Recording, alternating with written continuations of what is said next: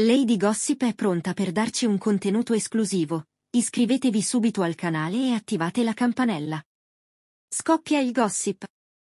Mirko Brunetti, il bel tenebroso del grande fratello, è stato l'inaspettato sacrificio nella puntata bollente di sabato 9 dicembre.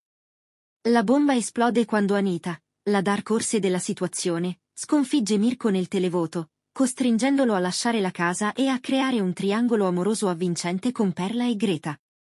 Dopo aver riacceso la fiamma con Perla, la fredda entrata di Greta ha gelato i cuori, portando alla sua eliminazione.